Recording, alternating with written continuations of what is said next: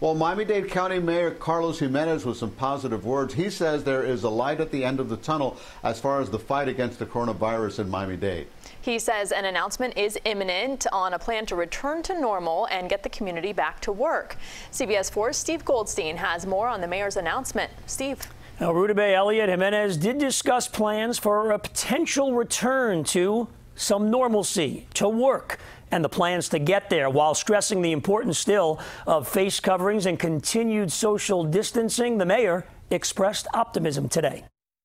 We're seeing a light at the end of this COVID 19 tunnel, starting with a number of hospitalizations that are steadying in Miami Dade County.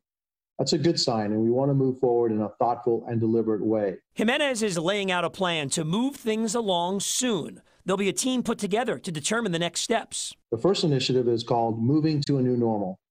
Starting later this week, we will be working with community leaders and health experts to establish a delivered plan to allow people in our county to return to a normal life as possible without jeopardizing the health of our community and our most vulnerable residents. Part two of the plan is economic, trying to relieve the pressure the pandemic has put on businesses and workers. Again, the mayor will assemble a team to work on. This will involve business and community leaders and academics to work on a resilient plan to restore our economy as quickly as possible.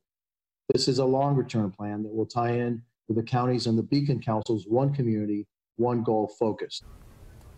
Now, in a statement from the mayor's office after he spoke, they made a point to say there is no timeline established, and the mayor's statements were made to keep the community informed, and the advice of medical professionals will be a big factor in all decisions.